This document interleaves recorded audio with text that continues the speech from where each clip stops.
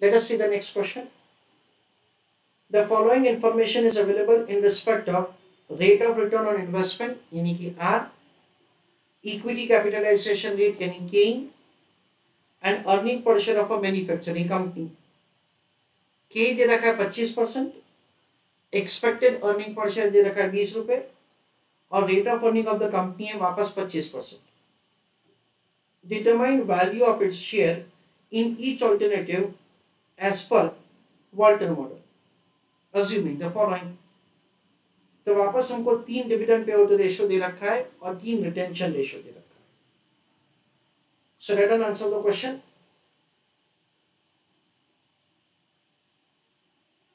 calculation of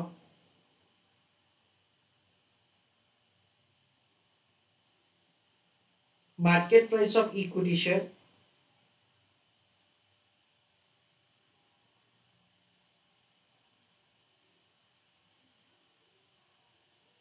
for different?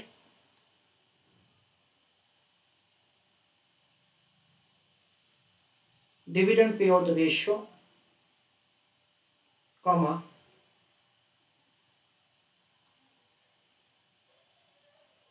retention ratio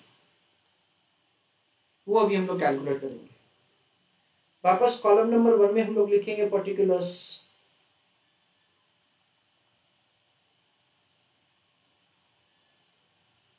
one minus P that is dividend pay out ratio zero point five N one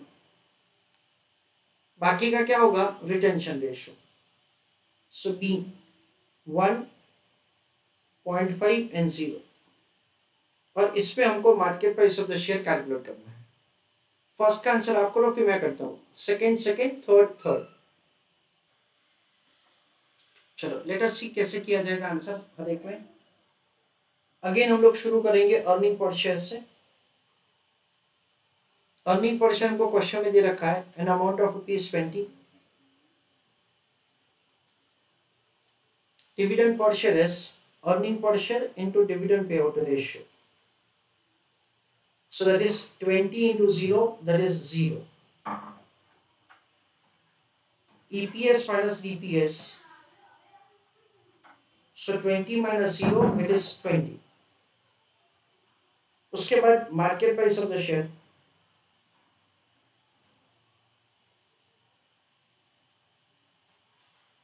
it is dividend portion plus earning portion into sorry earning portion minus dividend portion into R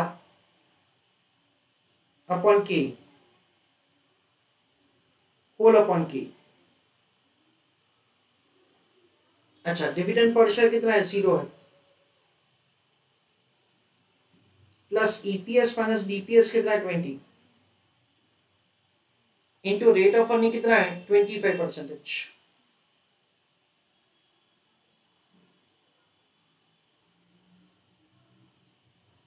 cost of equity भी कितना है? Twenty five percentage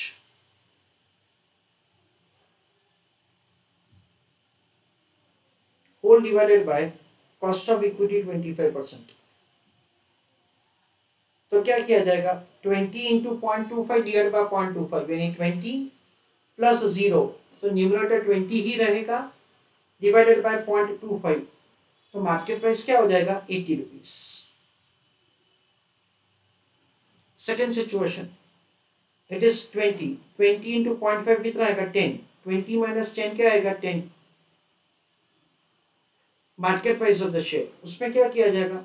dividend per share है दस रुपए plus twenty minus ten यानी again ten into point two five whole divided by point two five divided by point two five तो उसमें क्या होगा friends this value will be ten plus ten ये total क्या हो गया? Twenty twenty divide by point two five कितना होगा? एट्टी ऐसा करके मार्केट प्राइस फाइंड किया जाएगा। लास्ट में क्या होगा? Earning per share is twenty dividend pay out ratio is one यानी पूरा का पूरा अर्निंग डिविडेंड में डिस्ट्रीब्यूट किया ट्वेंटी तो twenty minus twenty retain earning क्या होगा? ज़ीरो मार्केट प्राइस उसके लिए क्या किया जाएगा? Dividend is twenty rupees per share यानी ये लिखा बीस रुपए। ईपीएस माइनस डीपीएस है ज़ीरो तो ये zero divided by 0.25 whole divided by 0.25 sorry, divided by 0.25 whole divided by 0.25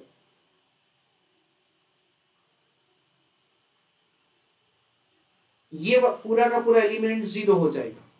So twenty divide by point two five कितना होगा answer eighty rupees so basically friends what upon sat in all the situations we have market price of 80 rupees only. Whether we distribute everything और we retain everything price कितना रहता है? Eighty rupees ही रहता है। ना listen carefully we understand at से R और के दोनों क्या है? सेम है इस इस वजह से ऐसा हो रहा है। थियरी भी ऐसा बोलता है। अगर रेट ऑफ़ अर्निंग और कॉस्ट ऑफ़ इक्विटी सेम होगा तो कोई भी डिविडेंड पे आउट रेशियो में प्राइस सेम रहेगा। So red answer the question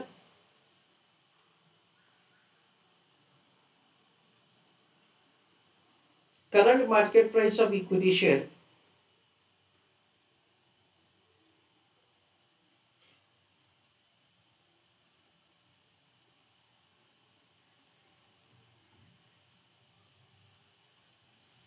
Will always be same comma if